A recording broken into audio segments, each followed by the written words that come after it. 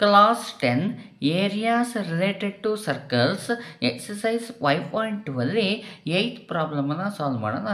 A horse is tied to a peg at one corner of a square shaped grass field upside 15 meter by means of a 5 meter long rope. See figure 5.11 find first one the area of that part of the field in which the horse can grass. Second one the increase in the grassing area. If the rope were 10 meter long instead of 5 meter use pi is equal to 3.14 okay ಮೊದಲಿಗೆ ಈ ಕ್ವಶನ್ನ ಮೀನಿಂಗನ್ನು ತಿಳ್ಕೊಳ್ಳೋಣ okay ಇಲ್ಲಿ ಏನು ಹೇಳ್ತಿದ್ದಾರೆ ಅಂದರೆ square ಶೇಪ್ಡು gross field ಇದೆ.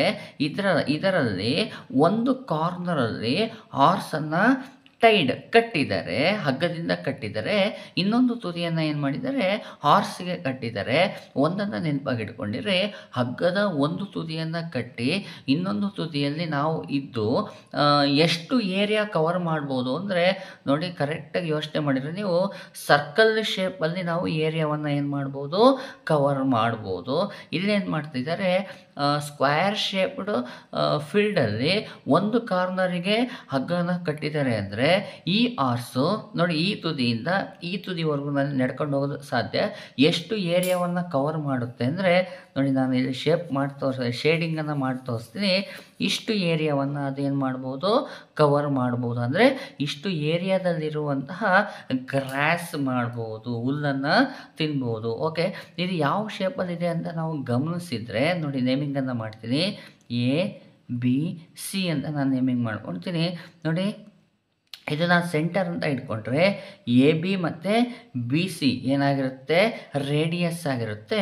ಮತ್ತು A, C ಇದೆಯಲ್ಲ, ಇದು ಆರ್ಕ್ ಆಗಿರುತ್ತೆ. ಹಾಗಾದರೆ ರೇಡಿಯಸ್ ಮತ್ತು ಆರ್ಕ್ ಅವು ಸೇರ್ಕೊಂಡಿರೋ ನಡುವೆ ಇರೋ ಜಾಗ ಏನಾಗಿರುತ್ತಪ್ಪ ಅಂತ ಹೇಳಿದರೆ ಸೆಕ್ಟರ್ ಆಗಿರುತ್ತೆ. Sector A, B, C, A. ನೋಡಿ area of sector A B C ಎನ್ನು ನೀವು ಫೈಂಡ್ ಮಾಡಿಬಿಟ್ರೆ ನಿಮಗೆ ಏನು ಸಿಗುತ್ತೆ? ಮೊದಲನೇ ಕ್ವಶನ್ ಆನ್ಸರ್ ಸಿಗುತ್ತೆ. The area of that part of the field in which the horse can graze ಈ ಕ್ವಶನ್ನ ಮೀನಿಂಗ್ ಸಿಗುತ್ತೆ. ಆದರೆ ಆ್ಯಂಗಲ್ ಎಷ್ಟಿದೆ ಅಂದರೆ, ನೋಡಿ ಈ ಜಾಗದಲ್ಲಿ ಆ್ಯಂಗಲ್ ನೈಂಟಿ ಡಿಗ್ರಿ ಇರುತ್ತೆ. ಹಾಗಾಗಿ ನಾನು theta is equal to ninety degree ಬರ್ಕೊತೀನಿ ಅಂದರೆ ಸ್ಕ್ವೇರ್ನ ಎಲ್ಲ ಆ್ಯಂಗಲ್ಗಳು ಏನಾಗಿರುತ್ತೆ? ನೈಂಟಿ ಡಿಗ್ರಿ ಇರುತ್ತೆ. ಓಕೆ ನೆಕ್ಸ್ಟು ಈ ರೇಡಿಯಸ್ ಎಷ್ಟು ಅಂತ ಬೇಕಲ್ಲ ಇಲ್ಲಿಂದ ಇಲ್ಲಿ ಇರೋ ಡಿಸ್ಟೆನ್ಸ್ ಎಷ್ಟು ಅಂತ ನೋಡಿದರೆ ಒಂದು ಸ್ವಲ್ಪ ಯೋಚನೆ ಮಾಡಿರಿ. ನಮ್ಮ ಹಗ್ಗ ಇದೆಯಲ್ಲ ರೋಪ್ ಎಷ್ಟು ಉದ್ದ ಇರುತ್ತೋ, ಇಲ್ಲಿಂದ ಇಲ್ಲಿಗಿರೋ ಲೆಂತು ಸಹ ಅಷ್ಟೇ ಇರುತ್ತೆ. ರೋಪ್ ನೋಡಿ ಇಲ್ಲೇ ಹೇಳಿದ್ದಾರೆ. ಫೈವ್ ಮೀಟರ್ ಲಾಂಗ್ ರೋಪ್ ಅಂತ ಹೇಳಿದ್ದಾರೆ. ಹಾಗಾದ್ರೆ ರೇಡಿಯಸ್ ಎಷ್ಟಿರುತ್ತೆ? ಫೈವ್ ಮೀಟರ್ ಇರುತ್ತೆ. R is equal five metre ಇಲ್ಲಿ ನಾನು ಮೊದಲನೇ ಕ್ವಶನ್ಗೆ ಆನ್ಸರ್ನ ಮಾಡ್ತಾ ಇದ್ದೀನಿ. ಈಗ ನಾವು ಏನು ಮಾಡಬೇಕಪ್ಪ ಅಂದರೆ area of sector A B C A ಅನ್ನು ಫೈಂಡ್ ಮಾಡ್ಕೊಳೋಣ.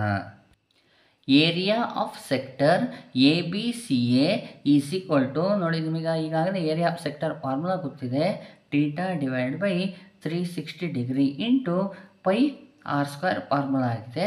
ಓಕೆ ವ್ಯಾಲ್ಯೂಸ್ಗಳನ್ನು ಸಬ್ಸ್ಟ್ಯೂಷನ್ ಮಾಡೋಣ. ಟೀಟಾ ಅಂದರೆ ಎಷ್ಟು? ನೈಂಟಿ ಡಿಗ್ರಿ ಇದೆ. Divide by three sixty degree into ನೋಡಿ ಪೈ ಅಂದರೆ ಎಷ್ಟನ್ನು ಬಳಸಿ ಅಂತ ಹೇಳಿದರೆ ಪೈನ ವ್ಯಾಲ್ಯೂನ ತ್ರೀ ಪಾಯಿಂಟ್ ಒನ್ ಫೋರ್ನ ಬಳಸಿ ಅಂತ ಹೇಳಿದರೆ ರೇಡಿಯಸ್ಸು ಫೈವ್ ಇದೆ. ಫೈವ್ ಸ್ಕ್ವೇರ್ ಆಗೋಯ್ತು. ನೆಕ್ಸ್ಟ್ ಸ್ಟೆಪ್ಪಲ್ಲಿ ಹಾಗೆ ಬರ್ಕೊಳ್ತೀನಿ ಇನ್ನೊಂದ್ಸರಿ ಬರ್ಕೊಳ್ತೀನಿ ಹಾಗೆ ಅದನ್ನು.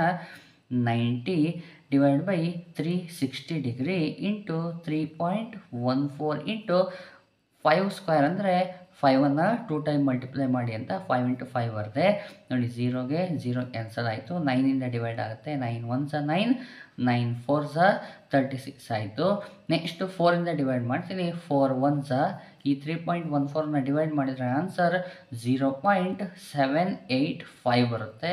ಓಕೆ ನೆಕ್ಸ್ಟ್ ಸ್ಟೆಪ್ಪಲ್ಲಿ ಒಂದಿದೆ ಇದೆ ಬರ್ಕೊಳಲ್ಲ next ಇಲ್ಲೇನಿದೆ zero point seven eight five ಇದೆ ಇಂಟು ಫೈವ್ ಇಂಟು ಫೈವ್ ಇದೆ. ಓಕೆ ನೆಕ್ಸ್ಟ್ ಸ್ಟೆಪ್ಪಲ್ಲಿ ಇವೆರಡನ್ನು ಮಲ್ಟಿಪ್ಲೈ ಮಾಡೋಣ. Zero point seven eight five into ಫೈವನ್ನು ಮಾಡಿದರೆ answer three point nine two five ಬರುತ್ತೆ. ಇಂಟು ಫೈವ್ ಇದಿದೆಯಲ್ಲ ಇದು ಹಾಗೆ ಬರ್ಕೊಳ್ತೀನಿ ಇವೆರಡನ್ನು ಮಲ್ಟಿಪ್ಲೈ ಮಾಡಿದರೆ answer nineteen point six two five ಬರುತ್ತೆ. ನಮಗೆ ರೇಡಿಯಸ್ಸು ಮೀಟ್ರಲ್ಲಿ ಇರೋದ್ರಿಂದ ಏರಿಯಾ ಏನಾಗುತ್ತೆ?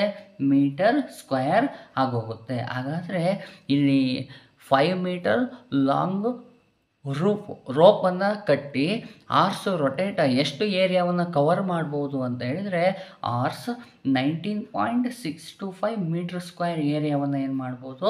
ಕವರ್ ಮಾಡ್ಬೋದು ಅಂತ. Second question find the increase in the grazing area if the rope were ten metre long instead of five metre ಈಗಾಗಲೇ ನಮಗೆ ರೋಪಿನ ಲೆಂತು ಫೈವ್ ಮೀಟರ್ ಅಂತ ಹೇಳಿದರು. ಹೌದಲ್ವ ಹಗ್ಗದ ಉದ್ದ ಎಷ್ಟು ಹೇಳಿದರು? ಫೈವ್ ಮೀಟ್ರ್ ಹೇಳಿದರು. ಈಗ ಏನು ಮಾಡ್ತಿದ್ದಾರೆ? ಹಗ್ಗದ ಲೆಂತನ್ನು ಏನು ಮಾಡ್ತಿದ್ದಾರೆ? ಟೆನ್ ಮೀಟ್ರನ್ನ ಮಾಡ್ತಿದ್ದಾರೆ. ಟೆನ್ ಮೀಟ್ರ್ ಅಂದರೆ ಈ ಏನಿತ್ತು ರೋಪ್ ಇತ್ತಲ್ಲ, ಇದು ಇನ್ನೊಂದು ಸ್ವಲ್ಪ ಉದ್ದ ಆಯಿತು, ಇಲ್ಲಿವರೆಗೂ ಬಂತು. ಓಕೆ ಎಲ್ಲಿವರೆಗೂ ಬಂತು ಅಂದರೆ ಈಗ ಆರ್ಸು ಎಷ್ಟು ಏರಿಯಾವನ್ನು ಕವರ್ ಮಾಡ್ಬೋದು ಅಂದರೆ, ನೋಡಿ, ಇಲ್ಲಿ ನಾನು ಡಾಟೆಟಲ್ಲಿ ತೋರಿಸ್ತೀನಿ. ಎಸ್ ಕಾಣಿಸ್ತಿದೆಯಲ್ವಾ? ಇಲ್ಲಿಂದ, ಅಂದರೆ ನೇಮಿಂಗನ್ನು ಮಾಡೋಣ. ಡಿ ಇದು ಬಿ ಇದೆ. ಇಲ್ಲಿಗೆ ಇ ಅಂತ ಕೊಡ್ತೀನಿ. ನೋಡಿ, ಡಿ, ಬಿ, ಇ, ಡಿ. ಇದಿಷ್ಟು ಏರಿಯಾವನ್ನು ಏನು ಮಾಡ್ಬೋದು? ಇದು ಕವರನ್ನು ಮಾಡ್ಬೋದಾಗಿದೆ. ಆದರೆ, ಅವ್ರ ಕ್ವಶನ್ ಕೇಳ್ತಿರೋದೇನು ಅಂದರೆ the increase in the grazing area ಎಷ್ಟು ಏರಿಯಾ ಜಾಸ್ತಿ ಆಯಿತು? ಗೊತ್ತಾಗ್ತಿದೆಯಲ್ವಾ? ಎಷ್ಟು ಏರಿಯಾದಲ್ಲಿ ಅಂದರೆ ಎಷ್ಟು ಜಾಸ್ತಿ ಏರಿಯಾದಲ್ಲಿ ಆರ್ಸು ಗ್ರಾಸಿಂಗನ್ನು ಮಾಡ್ತಾ ಇದೆ ಅಂತ ಕೇಳ್ತಿದ್ದಾರೆ. ಹಾಗಾದ್ರೆ ಎಷ್ಟು ಏರಿಯಾದಲ್ಲಿ ಜಾಸ್ತಿ ಮಾಡ್ತಂದರೆ ಫಸ್ಟಿಗೆ ನೋಡಿ ಇದೆಯಲ್ಲ ಎ, ಬಿ, ಸಿ, ಎ ಇಷ್ಟು ಏರಿಯಾದಲ್ಲಿ ಅದು ಮೇಯ್ತಾ ಇತ್ತು, ತಿಂತಾ ಇತ್ತು. ಈಗೇನಾಯಿತು ಇಲ್ಲಿವರೆಗೂ ಅಂದರೆ ಇದಿಷ್ಟು ಟೋಟಲ್ ಅಷ್ಟು ಅಂದರೆ ಇದಿಷ್ಟು ನಾವೇನು ಮಾಡಬೇಕು? ಸಬ್ಟ್ರಾಕ್ಟನ್ನು ಮಾಡಿದರೆ ಎಸ್ ನೋಡಿ ಇನ್ಕ್ರೀಸ್ಡ್ ಏರಿಯಾ ಅಂತ ಹೇಳಿದರೆ ಇಷ್ಟು ಏರಿಯಾ ಏನಾಯಿತು? ಇನ್ಕ್ರೀಸ್ ಆಗೋಯಿತು. ಅರ್ಥ ಆಗ್ತಿದೆ ಅಲ್ವಾ? ಈ ಏರಿಯಾವನ್ನು ನಾವು ಈಗೇನು ಮಾಡಬೇಕಾಗಿದೆ? ಫೈಂಡ್ ಮಾಡಬೇಕಾಗಿದೆ. ಎಸ್ ಅವಾಗಲೇ ಹೇಳ್ದಂಗೆ ಇಲ್ಲೇನಿದೆ? ನೈಂಟಿ ಡಿಗ್ರಿ ಇದೆ. ಅಂದರೆ ಇದು ಸ್ಕ್ವೇರ್ ಶೇಪಲ್ಲಿ ಇರೋದ್ರಿಂದ ಈ ಕಾರ್ನರಲ್ಲಿ ನೈಂಟಿ ಡಿಗ್ರಿ ಇರುತ್ತೆ. ಅದಕ್ಕೋಸ್ಕರ ನಾನು ಈ ರೀತಿಯಾಗಿ ಬರ್ಕೊಳ್ತೀನಿ ಇನ್ ಸೆಕ್ಟರ್ ನೋಡಿ ಎರಡು ಸೆಕ್ಟರ್ಗಳು ಕಾಣಿಸ್ತಿದೆ. ಮೊದಲನೇ sector in sector A B C A ಕಾಣಿಸ್ತಿದೆಯಲ್ವಾ A B C A ಈ ಸೆಕ್ಟರಲ್ಲಿ ನನಗೆ ಟೀಟಾ ಎಷ್ಟಿದೆ? ನೈಂಟಿ ಡಿಗ್ರಿ ಇದೆ. ಇದು ಒಂದ, ಒಂದಂತ ಹಾಕ್ಕೊಳ್ತೀನಿ ನೆಕ್ಸ್ಟ್ ರೇಡಿಯಸ್ ಒಂದಂತ ಬರ್ಕೊಳ್ತೀನಿ ಅಂದರೆ ಈ ಸೆಕ್ಟರಿನ ರೇಡಿಯಸ್ ನೋಡಿ ಎ ಬಿ ಸಿ ಎ ಈ ಸೆಕ್ಟರಿನ ರೇಡಿಯಸ್ ಎಷ್ಟಿರುತ್ತೆ? ಫೈವ್ ಮೀಟರ್ ಇರುತ್ತೆ. Five metre next in sector ಯಾವುದು? ಡಿ ಬಿ ಇ ಡಿ ಗೊತ್ತಾಗ್ತಿದೆ ಅಲ್ವಾ? ಡಿ ಬಿ ಇ ಡಿ ಈ ಟೋಟಲ್ ಇದರಿಂದ ಹಿಡಿದು ಈ ಸೆಕ್ಟರಲ್ಲಿ ಆ್ಯಂಗಲ್ ಎಷ್ಟಿರುತ್ತೆ? ಟೀಟಾ ಟು ಅದೂ ಸಹ ನೈಂಟಿ ಡಿಗ್ರಿನೇ ಇರುತ್ತೆ. ಓಕೆನಾ ರೇಡಿಯಸ್ ಎಷ್ಟಿರುತ್ತಪ್ಪ ಅಂತೇಳಿದರೆ ಆರ್ ಟು ಅಂತ ಬರ್ಕೊಳ್ತೀನಿ ನೋಡಿ ರೇಡಿಯಸ್ಸು ಇಲ್ಲಿಂದ ಇಲ್ಲಿಗೆ ಟೆನ್ ಮೀಟ್ರ್ ಇರುತ್ತೆ. ಅಂದರೆ ರೋಪಿನ ಲೆಂತ್ ಟೆನ್ ಮೀಟ್ರ್ ಆಗಿರೋದ್ರಿಂದ ರೇಡಿಯಸ್ಸು ಸಹ ಏನಾಗಿರುತ್ತೆ? ಟೆನ್ ಮೀಟರ್ ಆಗಿರುತ್ತೆ. ಈಗ ನಾನೇನು ಮಾಡಬೇಕಾಗಿದೆ? ಇನ್ಕ್ರೀಸ್ಡ್ ಇನ್ ದ ಗ್ರಾಸಿಂಗ್ ಏರಿಯಾವನ್ನು ಫೈಂಡ್ ಮಾಡಬೇಕಾಗಿದೆ. The increase in the grazing area is equal to area of sector D B E D minus area of sector A B C A ಅಂತ ನಾನು ಬರ್ಕೊಂಡಿದ್ದೀನಿ. ನೋಡಿ sector D B D B E D ಗೊತ್ತಾಗ್ತಿದೆಯಲ್ವ ಈ total ಸೆಕ್ಟರಲ್ಲಿ ನಾನು sector A B C A ಏರಿಯಾವನ್ನು subtraction ಮಾಡಿಬಿಟ್ರೆ ನೋಡಿ ಇದಿಷ್ಟು ತೆಗೆದಾಕ್ಬಿಟ್ರೆ ನನಗೆ ಏನು ಸಿಗುತ್ತೆ? ಇದಿಷ್ಟು ಇನ್ಕ್ರೀಸಿಂಗ್ ಏರಿಯಾ ನನಗೆ ಸಿಗುತ್ತೆ. ಓಕೆ ಏರಿಯಾ ಆಫ್ ಸೆಕ್ಟರ್ನ ಫಾರ್ಮುಲಾ ನಿಮಗೆ ಈಗಾಗಲೇ ಗೊತ್ತಿದೆ. Theta by three sixty degree into pi R square ಆಗಿದೆ.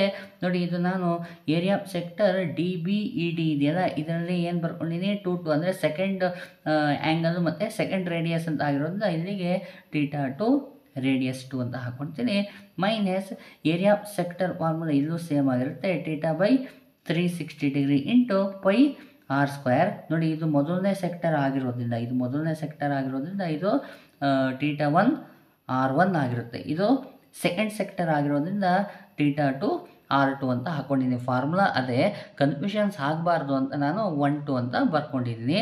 ಓಕೆ ನೆಕ್ಸ್ಟ್ ಸ್ಟೆಪ್ಪಲ್ಲಿ ಟೀಟಾ ಟು ಅಂದರೆ ಎಷ್ಟು? Ninety degree divide by three sixty degree into pi ವ್ಯಾಲ್ಯೂವನ್ನು ತ್ರೀ ಪಾಯಿಂಟ್ ಒನ್ ಫೋರ್ ತಗೊಳ್ಳಿ ಅಂತ ನಮಗೆ ಕ್ವಶನಲ್ಲೇ ಹೇಳಿದ್ದಾರೆ.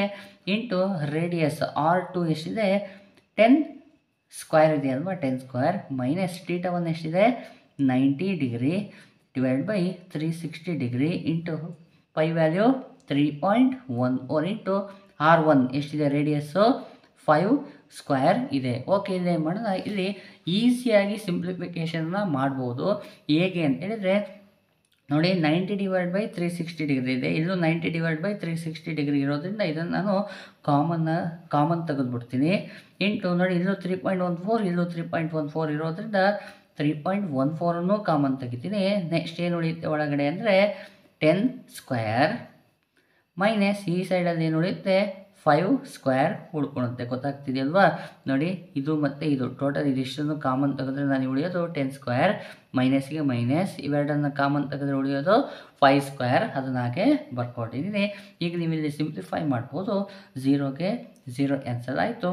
Nine one nine nine four thirty six S ಓಲಿಂದ ಡಿವೈಡ್ ಆಗುತ್ತೆ. ಫೋರ್ ಒನ್ ಸ ಇದು ಡಿವೈಡ್ ಮಾಡಿದರೆ ಝೀರೋ ಪಾಯಿಂಟ್ ಸೆವೆನ್ ಏಯ್ಟ್ ಫೈವಲ್ಲಿ ಡಿವೈಡ್ ಆಗೋಗುತ್ತೆ.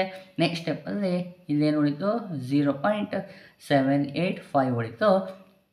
ಎಸ್ ಟೆನ್ ಸ್ಕ್ವೇರ್ ಅಂದರೆ ಟೆನ್ ಸ್ಕ್ವೇರ್ ಅಂತ ಹೇಳಿದರೆ ಟೆನ್ನನ್ನು ಟೂ ಟೈಮ್ ಮಲ್ಟಿಪ್ಲೈ ಮಾಡಿ ಟೆನ್ ಟೆನ್ಸ ಹಂಡ್ರೆಡ್ ಬರುತ್ತೆ ಮೈನಸ್ ಫೈವನ್ನು ಟೂ ಟೈಮ್ ಮಲ್ಟಿಪ್ಲೈ ಮಾಡಿದರೆ ಫೈವ್ ಫೈವ್ಸ ಟ್ವೆಂಟಿ ಫೈವ್ ಬರುತ್ತೆ. ಓಕೆನಾ next ಸ್ಟೆಪ್ಪಲ್ಲಿ zero point seven eight five of bracket ಬರ ಬ್ರ್ಯಾಕೆಟ್ ಹಾಕ್ಕೊಂಡೆ ಎಸ್ ಸಬ್ಟ್ರಾಕ್ಷನ್ ಮಾಡಬೇಕು. ಹಂಡ್ರೆಡಲ್ಲಿ ಟ್ವೆಂಟಿ ಫೈವನ್ನ ಸಬ್ಟ್ರಾಕ್ಷನ್ ಮಾಡಿದರೆ ಎಷ್ಟು ಬರುತ್ತೆ? ಸೆವೆಂಟಿ ಫೈವ್ ಬರುತ್ತೆ. ಓಕೆ ಇದು ಬ್ರಾಕೆಟ್ ಅಂದರೆ ಇಂಟು ಅಂತ ಇವೆರಡನ್ನು ಮಲ್ಟಿಪ್ಲೈ ಮಾಡಿಬಿಡೋಣ ಮಲ್ಟಿಪ್ಲೈ ಮಾಡಿದರೆ ಆನ್ಸರ್ ಎಷ್ಟು ಬರುತ್ತೆ ಗೊತ್ತಾ? Fifty eight point eight seven five ಬರುತ್ತೆ. ರೇಡಿಯಸ್ ನಮಗೆ ಮೀಟ್ರಲ್ಲಿ ಇರೋದ್ರಿಂದ ಏರಿಯಾ ಏನಾಗುತ್ತೆ? ಮೀಟರ್ ಸ್ಕ್ವೇರ್ ಬರುತ್ತೆ. ಹಾಗಾದರೆ the increase in the grazing area. ಯಾವಾಗ? ನೋಡಿ ಕ್ವಶನ್ ಹೇಳಿ ಹೇಳ್ತಾರಲ್ವಾ the increase in the grazing area if the rope were ten metre long instead of five metre.